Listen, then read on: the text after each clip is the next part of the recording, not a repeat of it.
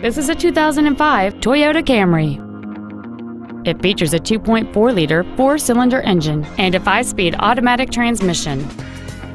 Features include a power sunroof, alloy wheels, heated side view mirrors, a premium audio system, an illuminated driver's side vanity mirror, an engine immobilizer theft deterrent system, fog lamps, an anti-lock braking system, a power driver's seat, and cruise control.